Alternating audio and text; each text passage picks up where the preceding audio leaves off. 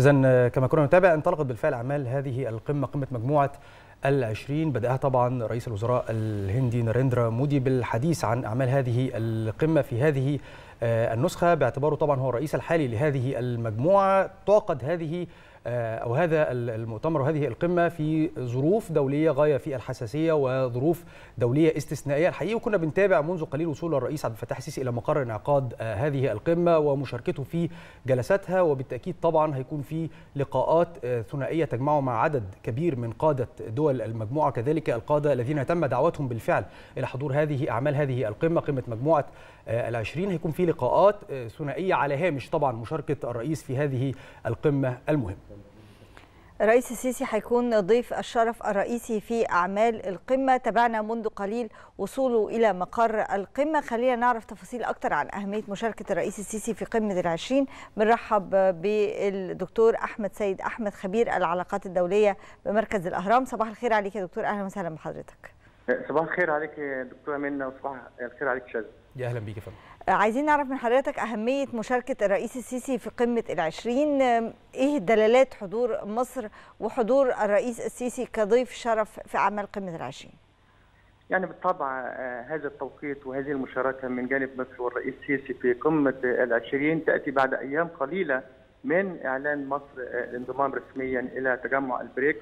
وعندما نقارن تجمع البريكس وتجمع العشرين أو مجموعة العشرين فأنا نقول أنه تقريبا 95% من الاقتصاد العالمي. وبالتالي الدلالة هنا بتعكس الانفتاح المصري على التجمعات الاقتصادية الدولية بما يعظم المصالح المصرية بما يفتح آفاق جديدة أمام التنمية في مصر وأمام الاقتصاد المصري وجذب الاستثمارات وعرض الفرص الاستثمارية الواعدة وفي المشروعات التنموية العملاقة في مصر. في ظل انطلاق مصر الاقتصادي. الدلالة الثانية أيضا بتعكس أيضا أهمية وثقل مصر الاقتصادي كدولة في منطقة الشرق الأوسط كدولة في إفريقيا دولة تمثل دولة مفتاحيه بالنسبة لأهم منطقتين أيضا في العالم الآن. أيضا الدلالة الثالثة بتعكس أيضا السياسة الخارجية المصرية الرشيدة الفاعلة والنزيهه المنفتحة لكل الدول. في ظل عالم يموج بالاستقطاب عالم من الاضطراب حتى في ظل توقيت انعقاد القمة وغياب كل من رئيسي الصين وروسيا في هذا هذا هذا المناخ العالمي يأتي وتأتي أهمية مشاركة مصر باعتبار أنها تعبر عن تيار الوسطية والاعتدال في العلاقات الدولية، تيار الحياد الإيجابي، التيار الذي يدعم ويعزز مفهوم التعاون المشترك بين الدول في إطار معادلة الكل رابح رابح وبالتالي هي تعكس دلالات مهمة تعكس أيضا أن هناك حرص وإدراك من جانب القوى الكبرى القوى الاقتصادية الهند تحديدا التي دعت مصر باعتبارها المنظم والمستضيف القمة.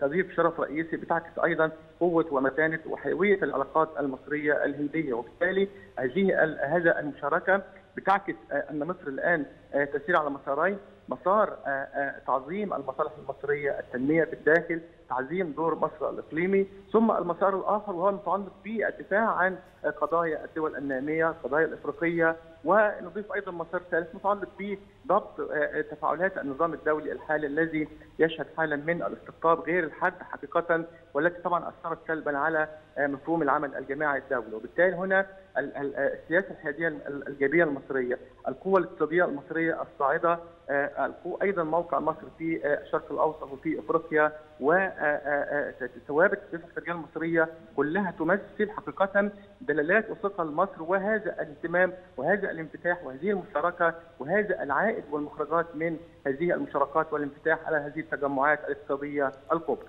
طيب دكتور أحمد أجندة سيادة الرئيس مليئة بالأنشطة والفعاليات وتتصدرها طبعا التحديات التي تواجه القارة الأفريقية خلال الفترة الماضية وهناك حديث مستمر عن ضرورة دمج الاقتصاد الأفريقي بالاقتصاد العالمي وبالأمس تابعنا طبعا مطالبات رئيس الوزراء الهندي ناريندرا مودي بضم الاتحاد الأفريقي كعضو دائم في هذه المجموعة. كيف يمكن للاتحاد الأفريقي ودول القارة الأفريقية أن تستفيد من وجودها؟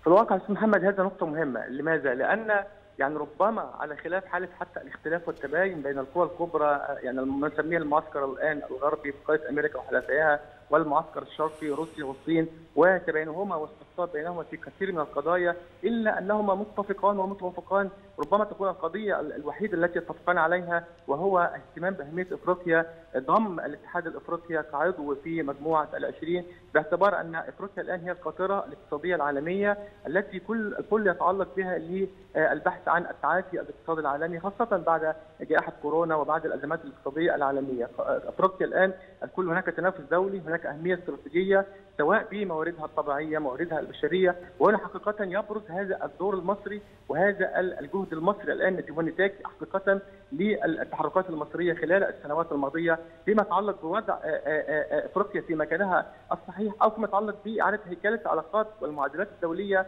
التي تربط إفريقيا بالعالم، بمعنى كانت العلاقات في السابق والمعادلات تقوم على أن إفريقيا مجرد سوق لتصريف منتجات الدول المتقدمة، مجرد مصدر للمواد الخام، أيضا إضافة طبعا إلى المشكلات والصراعات التي فيها. الآن هناك مفهوم جديد يقوم على فكرة التمكين الاقتصادي لافريقيا، فكرة الشراكات الاقتصادية ولهذا وجدنا تسابق دولي القمة الإفريقية الهندية كانت في دلهي العام الماضي ثم القمة الإفريقية الصينية واليابانية والأوروبية والأمريكية وغيرها بتعكس حقيقة حاله من هذا السباق الدولي. وفي هذا الإطار هنا يأتي الدور الإفريقي في تعظيم والاستفادة من هذا التنافس الدولي على إفريقيا. من خلال اولا بناء شراكات مع كل القوى دون دخول في حالة الاستقطاب العالمي الأمر الثاني هو بناء علاقات قوية تقوم على التمكين الاقتصادي والمساعدة في تحقيق التنمية كمدخل مصر فيما يتعلق مثلا بمواجهة مشكلات القارة، الهجرة غير المشروعة، الإرهاب وغيرها من المشكلات من خلال تكثيف بيئة هذه التحديات من خلال تحقيق التنمية في أفريقيا، توظيف مواردها الطبيعية،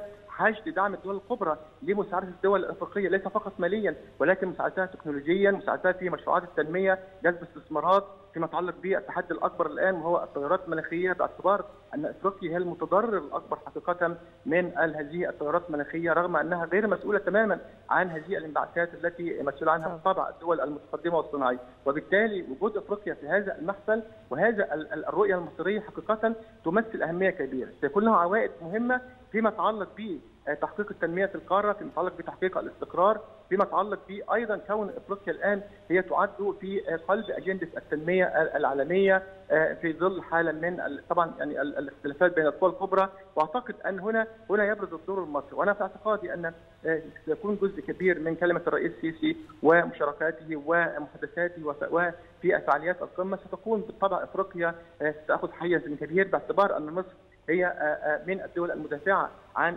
قضايا العالم النامي فيما يتعلق بقضايا مثل التمويل الدولي وسهولة وصول التمويل فيما يتعلق بتحقيق التنمية المستدامة فيما يتعلق بتنفيذ الدول الكبرى مسؤولياتها فيما يتعلق بمخرجات قمة المناخ في كوب 27 متعلقة بصندوق الأضرار عن الخسائر و يعني توصي هذه الدول بالتزاماتها في يتعلق بمساعدة الدول الأفريقية في مواجهة التغيرات المناخيه فيما يتعلق بتمكينها للتوسع في الاقتصاد الأخضر والهيدروجين الأخضر كلها تمثل قضايا حيوية. مهمه لأن التغير المناخي الآن الآن يعني يمثل تهديدا للسلم والامن الدوليين. وأفريقيا مضرة وأعتقد أن جزء من الاستراتيجية الدولية هي متعلقة بتمكين الدول الأفريقية انطلاقا من مصلحة عالمية في أن هناك تهديد للكوكب وأن الدول الغنية والمتقدمة التي تمثل طبعا في مجموعة العشرين التي تستحوذ على 85% من الاقتصاد العالمي الحجم الناتج العالمي.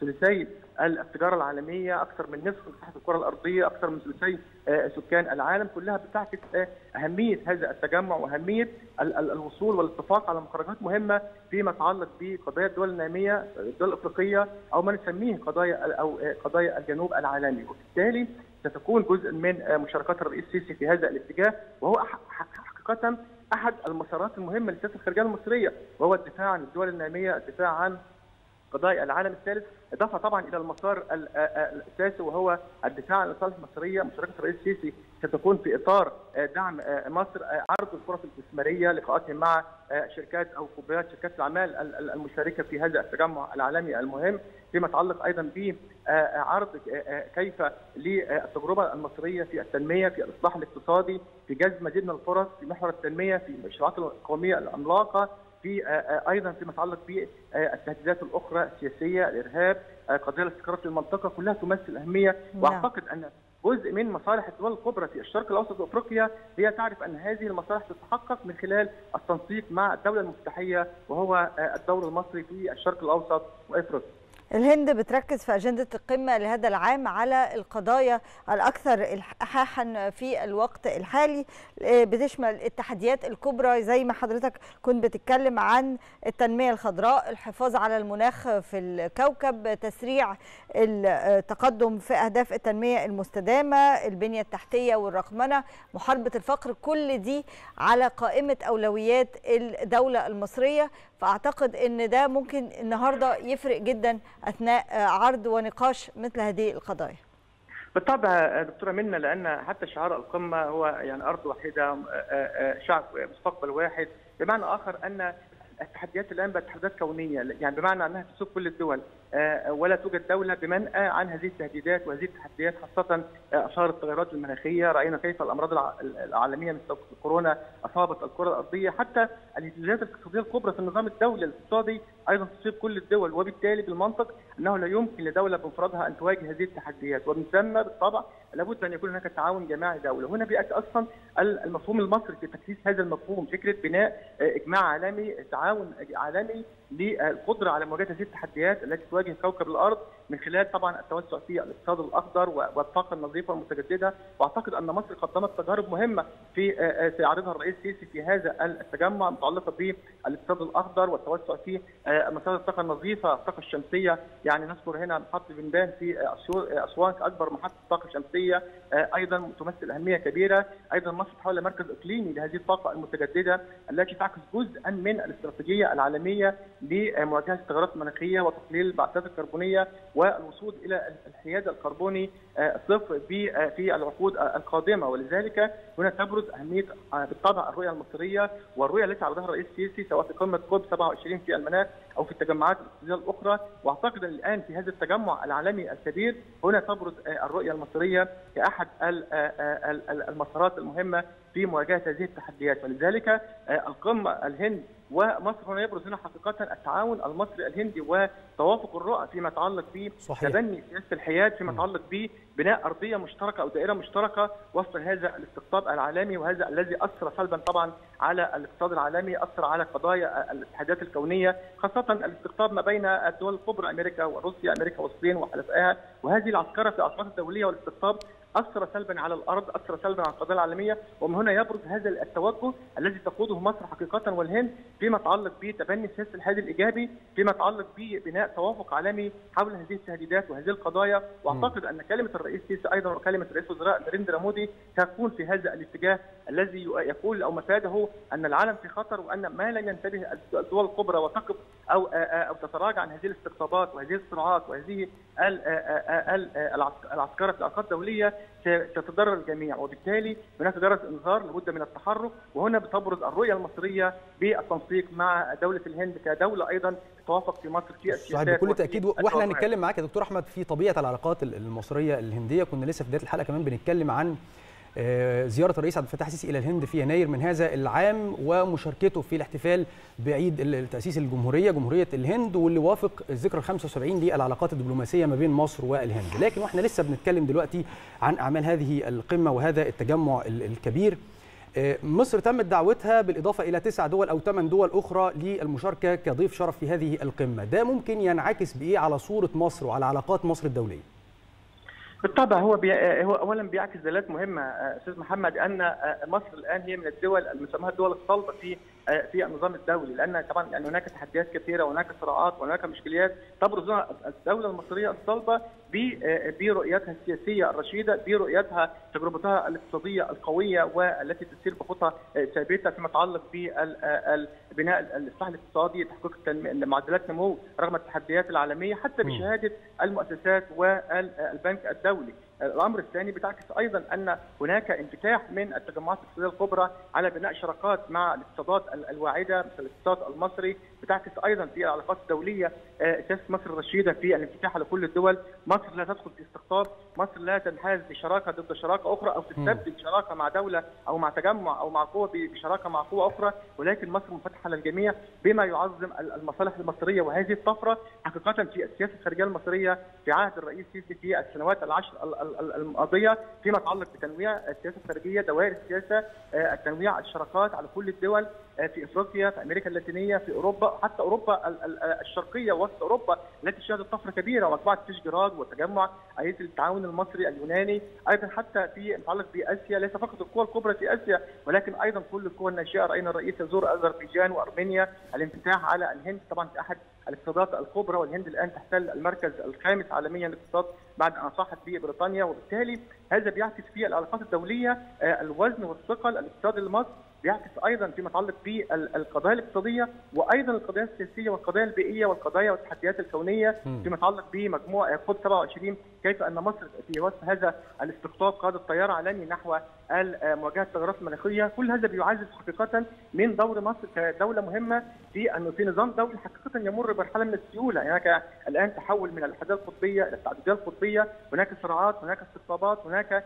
يعني هناك رأينا توترات، يعني الأزمة الروسية الأوكرانية المستمرة وغيرها في شرق آسيا الآن هناك بؤر ربما للتوتر، كل هذا حقيقة بيعكس أن هناك الآن حاجة إلى دول من تسمى الدول الرشيدة التي تقوم على انحياز السلم الدولي، انحياز التعاون الدولي، حل المشكلات والصراعات بطريقة سلمية في اطار احترام القانون الدولي، أيضا فيما يتعلق بدول ترى رؤيتها تقوم على التعاون الدولي باعتبار أن الكل سيربح من هذا التعاون، أيضا فيما يتعلق بالتعاون في مواجهة التحديات الكونية، كل هذا حقيقة بيعكس دلالة يعني دعوة مصر وأيضا كما أشرنا إلى بعد أيام قليله من الانضمام رسميا لتجمع البريكس. هذا التجمع أيضا الذي يمثل أيضا تجمع مهم نصف 30% من حجم الناتج العالمي أكثر من 43% من سكان العالم يعني 75% 5 ربع التجارة العالمية. كل هذا بيعكس حقيقه أن مصر تسير تسير في اتجاهها الصحيح أن مصر الآن تتعزز في الجمهورية الثالثة أن الرئيس السيسي وقيادته للمشروع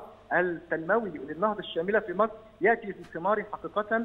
وأيضا النقطة المهمة هي الربط ما بين السياسة الخارجية وهذا الانفتاح وهذا التحركات الدولية وبين التنمية في الداخل بمعنى أن القوة ما بين قوة السياسة الخارجية بتنعكس على قوة الاقتصاد وأيضا العكس قوة مصر الاقتصادية ونجاح برنامجها في الإصلاح الاقتصادي وإقتصاد ناشئ بيعزز أيضا من دورها في السياسة الدولية وفي العلاقات الدولية. وهذا المشروع المتكامل الذي يقوم على هذه المسارات التنموية والمسارات السياسية أيضا فيما يتعلق بمواجهة التهديدات يعني رأينا حتى مشكلة مثل الهجرة غير المشروعة والإرهاب كيف أن في في كان كانت التجربة المصرية والرؤية المصرية هي الأفضل وهي أكثر نجاعه في محاربة هذه صحيح. التحديات من خلال تكثيف بيئة المواجهة الشامله للارهاب، تكثيف بيئة الهجرة غير المشروعة من خلال تسوية الصراعات والحروب في الشرق الأوسط في إفريقيا، تكثيف بيئة الفقر، كل هذا حقيقه أعطى ثقة لمصر وأعطى مردود أيضا إيجابي، الآن مصر في مجموعه العشرين هناك مزيد من الشركات الاقتصادية، جذب التكنولوجيا، كل هذا في نهاية المطاف سينعكس على المواطن المصري والاقتصاد المصري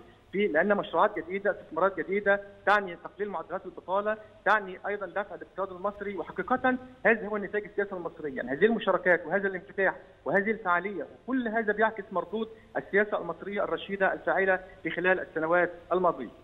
طيب دعوة الهند لل 19 أكبر اقتصاد في العالم بالإضافة لتواجد الاتحاد الأوروبي ككتلة ودعوة تسع دول كما قال شاذلي إضافية عن 19 اقتصاد أو اقتصاد 19 اقتصاد مهيمن على العالم بالإضافة لدعوة الهند المرة دي كمان للعديد من المنظمات يعني زي منظمة اليو أن صندوق النقد الدولي منظمة الصحة العالمية منظمة التجارة الدولية والعمل الدولي وغيرهم. هل ده بيهدف لوضع الجميع أمام مسؤولياتهم بحيث أن عندما يتوصلون إلى اتفاقات أو يتوصلون إلى قرارات يتم وضع المجتمع الدولي ككل أمام مسؤولياته ويتم تنفيذ هذه الاتفاقات أو هذه القرارات؟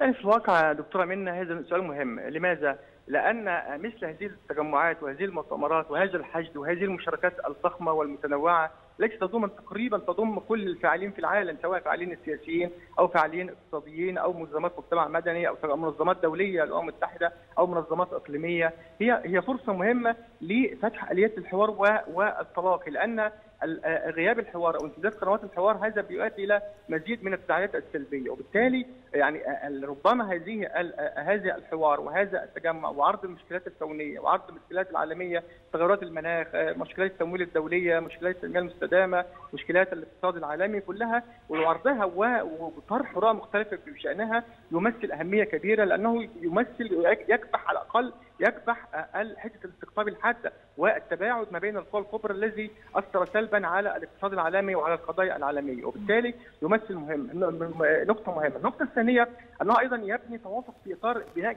إجماع عالمي من كل القوى يمثل عامل ضغط عامل ضغط على الدول الكبرى التي تدخل في حالة من الاستقطاب لدفعها نحو مرة أخرى إلى الانخراط في التيار العالمي القائم على تعزيز مفهوم العمل الجماعي الدولي، تعزيز مفهوم أو دور الأمم المتحدة كتنظيم دولي معبر عن الجماعة الدولية، أيضا ضغط عليها في اتجاه على الأقل وقف وكبح ربما هذه الاستقطابات وهذه العسكرة والعمل على اتجاه تسوية الأزمات والصراعات التي الآن تؤثر على كل الدول، يعني الحرب الروسية الأوكرانية لم تؤثر فقط على طرفي الأزمة ولكن أثرت على العالم كله، أثرت على الدول النامية، أثرت على الأمن الغذائي، أيضا ما يحدث الآن في شرق آسيا من توترات واستقطابات لو قدر الله لو حدث نوع من اشتعال بؤرة سيؤثر سلبا العالم يتحمل أزمات جديدة. وبالتالي مثل هذه التجمعات وهذه القمة وهذه الرؤى ودور مصر ورؤى مثل الهند والدول التي كانت يعني لديها باع كبير في سياسة الحد الإيجابي كل هذا بيمثل عوامل مضادة كابحة لهذه الانحرافات وهذه هذا الاستقطاب في النظام الدولي. وبالتالي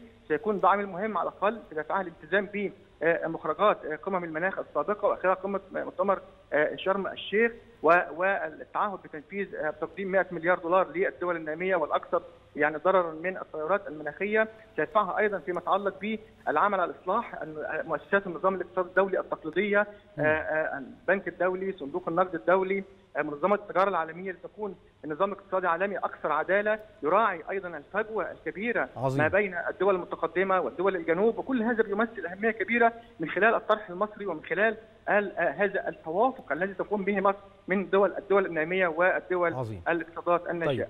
دكتور أحمد ليس ببعيد طبعا عن أعمال هذه القمة. هنتكلم دلوقتي مع حضرتك عن العلاقات المصرية الهندية على مر العصور والعلاقات السياسية. حضرتك ذكرت إنه في توافق في الكثير من الرؤى. عايزين نتكلم مع حضرتك عن العلاقات الاقتصادية بشكل عام ما بين الدولتين وكمان العلاقات العسكرية. يعني في وفود عسكرية هندية بتأتي إلى مصر باستمرار وكذلك في مناورات عسكرية بتحدث ما بين الجانبين في نيودلهي طبعا أستاذ محمد العلاقات المصرية الهندية هي علاقات شراكة استراتيجية بمعنى هذه الكلمة بالفعل شراكة استراتيجية تعني ماذا؟ علاقات قوية على المستوى السياسي، علاقات قوية على المستوى الاقتصادي، على المستوى الثقافي، على المستوى التعليمي، على المستوى الأمني والعسكري وهي علاقات مهمة لديها أسس قوية. يعني هي كبناء لديه أسس صلبه يعني نتذكر المرحلة أو المرحلة الذهبية الأولى من العلاقات المصرية الروسية في الخمسينات أيام الاتحاد السوفيتي ودور مصر في الاتحاد السوفيتي في دعم مصر في مواجهه عدوان 56 في بناء السد العالي. وهذه كانت مرحلة ذهبية. ثم طبعا التحولات التي طرات أيضا على كيف أن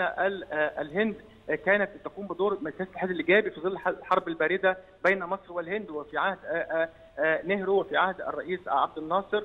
في هذا الإطار كان كانت هذه العلاقات الفترة الذهبية الأولى. ثم الفترة الذهبية الثانية بين مصر والهند فيما يتعلق ب في عهد الرئيس سيسي حقيقة لأن البلدان تتبنان سياسة الحاد الإيجابي فيما يتعلق بالأزمات العالمية، الاستقطاب العالمي، الحرب الروسية الأوكرانية تدعوان إلى دعم هذه الحرب وهذه الصراعات من خلال تحقيق التسوية السياسية والالتزام بميثاق الأمم المتحدة، أيضا فيما يتعلق بالتعاون الاقتصادي، الهند دولة مهمة حقيقه دولة اقتصادها من الخمس اقتصادات الكبرى في العالم، هي اقتصاد سوق أكبر سوق الآن عالميا في عدد السكان، تمثل أهمية استراتيجية فيما يتعلق بالميزان النسبية في مجال التكنولوجيا في مجال البرمجيات ونعرف أنها في بنجلور وغيرها الان استطاعت أن تحقق طفرة كبيرة. في المقابل مصر تمثل أهمية كبيرة في في محيطها في الشرق الأوسط في أفريقيا كاقتصاد ناشئ اقتصاد واعد لديه استثمارات ضخمة كبيرة فيما يتعلق بالطاقة المتجددة الطاقة النظيفة وبالتالي هذا التلاقي وهذا التعاون الاقتصادي والتبادل التجاري يمثل أهمية كبيرة في ظل تقارب وتشابه التجربة التنموية الهندية والتجربة التنموية المصرية وكل منهما لديه مزايا نسبيه وكل منهما لديه الكثير ما يقدمه للآخر وفي ظل وجود إرادة سياسية تعزز هذا التقارب وهذا التعاون. ومصر طبعا منفتحه كجزء من انفتاحها على كل الدوائر انفتحت شرقا مع الصين مع اليابان ومع الهند. وكل دولة لديها مزايا مهمة في يتعلق بها الاقتصاد والهند أيضا في يتعلق بالأمن الغذائي. ونتذكر كيف أن الهند استثنت مصر من صادرات القمح كيف أنها اوقفت صادرات القمح. لكل دول العالم واستثنت مصر وصدرت لمصر القمح بهذا بيعكس أيضا التعاون في مجال الأمن الغذائي في مجال الطاقه. المتجددة في مجال أيضا آه، آه، ان أن مصر تعد بوابة للهند إلى الشرق الأوسط وأفريقيا كما أن الهند أيضا تمثل بوابة مهمة لمصر فيما يتعلق بمنطقة شرق آسيا وبالتالي هي بتعكس حيوية وقوة العلاقات. الآن النقطة المهمة أيضا أن هذا جزء من حقيقة من تقوية مصر لكل دوائرها الاقتصادية، مصر علاقات قويه مع الهند مع كل مع روسيا مع اليابان مع الصين مع أمريكا مع أوروبا مع أفريقيا، كل هذه حقيقة في إطار التنويع والاستفادة من كل التجارب التنموية والهند لديها الكثير الذي تقدمه لمصر في هذا الاتجاه.